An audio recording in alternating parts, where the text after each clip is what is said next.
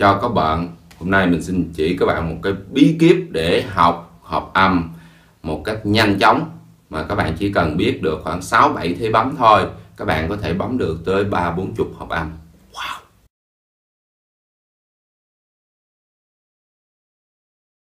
Chúng ta hãy bắt đầu bằng việc yêu cầu cơ bản trong uh, kiến thức của bạn đó chính là các bạn phải bấm được hai hợp âm chặn.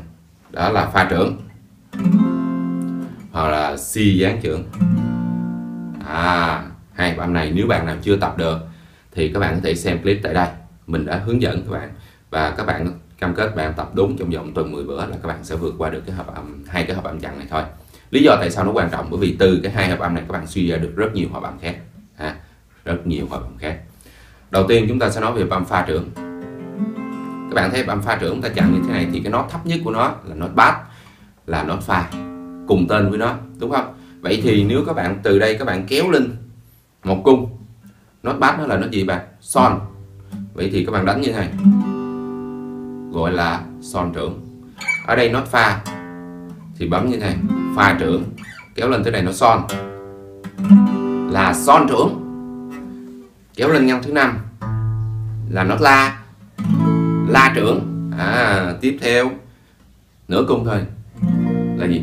Si gián trưởng. À nó bằng với ở đây. Các bạn nghe nó giống nhau đúng không? Chỉ thế tay khác nhau thôi. Đó. Si gián trưởng. Lên nửa cùng nó si trưởng. Lên nữa đô trưởng.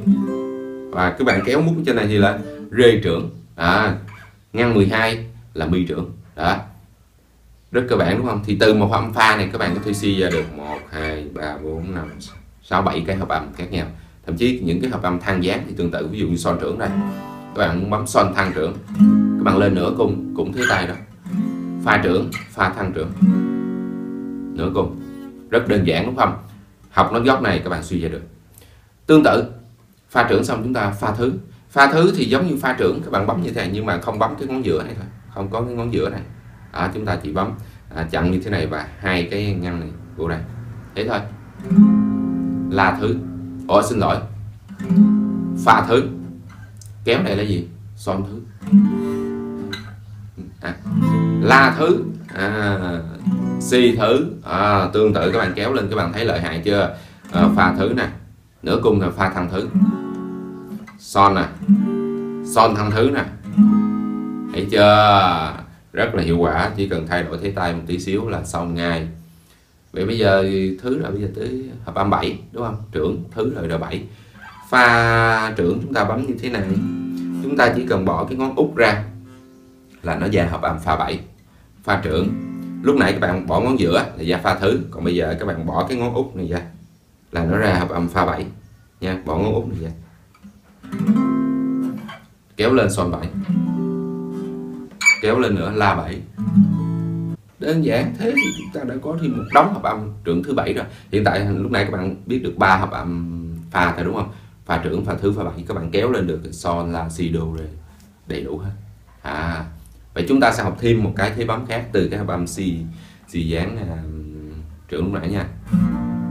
Thì si dáng trưởng. Thế này các bạn kéo lên nửa cung thì nó là gia si trưởng. Nửa cung nữa là gia đô trưởng bởi vì sao? Cái nốt gốc của nó là trên dây số 5 là nốt nè. Si dáng si nè.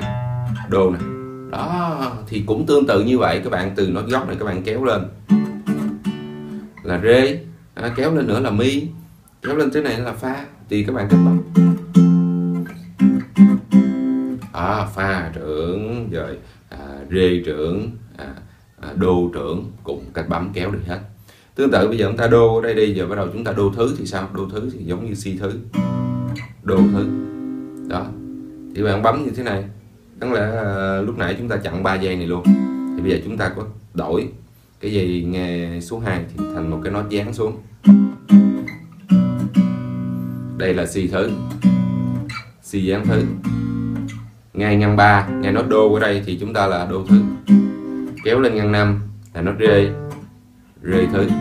Tương tự các bạn kéo hết là nó ra hợp thứ nữa rồi. Bây giờ tới hợp âm 7 thì sao nhỉ? Ví dụ như đô đây. À, C ở đây đi. Các bạn C C ờ, thứ. C7 thì chúng ta bấm. Tức là các bạn ngón này chúng ta bấm ngay dây ngăn 5 uh, ngăn 4 của dây 4 là ngăn 4 của dây 2 còn cái ngón trỏ các bạn phải chặn hết ha. Kéo lên là đô. Đô 7 nha kéo lên ngay ngăn năm là nó góc là rê thì ngay chỗ này rê bảy. Tương tự kéo lên đây tới trên cao rồi nữa là ngay ngăn à, số 8 đi bạn là nó pha. Thì đây chúng ta đánh vô ngay này là gì?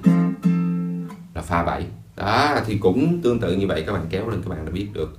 Thì thì từ ba cái thế bấm lúc nãy của coi như à, chặn 6 giây hoặc 5 giây thì mỗi cái ba thì bạn suy ra nó tới khoảng hai chục âm nếu mà hai mấy hợp âm nếu bạn tính thăng dán luôn nữa đó thì từ cơ bản như vậy các bạn suy ra được hầu hết các thế bấm khác rồi. Hãy nghiên cứu các hợp âm chặn ha. Nó rất lợi hại các bạn có thể kéo lên khắp cận đàn và ra những cái hợp âm tương ứng rất là hay nhé thì uh, hy vọng clip này cũng hữu ích cho các bạn trong việc là uh, đang phải uh, chiến đấu ghi nhớ uh, các hợp âm uh, với cái hướng dẫn này mình hy vọng các bạn sẽ mở ra một cái uh, mới cho các bạn trong việc luyện tập và ghi nhớ hợp âm nhé à, hãy nhớ ủng hộ uh, kênh Guitar for Freedom bằng cách like, share, comment. À, các bạn không hiểu các bạn cứ comment. Hoặc là chỉ cần một lời động viên cho mình.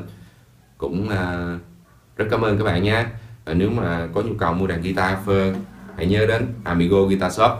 Một cái shop đàn nhỏ nhỏ của mình. À, nhưng mà mọi thứ à, đều được mình set up. À, rất là chỉnh chu. Từ đàn guitar điện guitar thùng phơ amly dây dắt mọi thứ cả. À, nếu có nhu cầu hãy ủng hộ mình nhé. Xin chào và hẹn gặp lại những clip theo. Bye bye.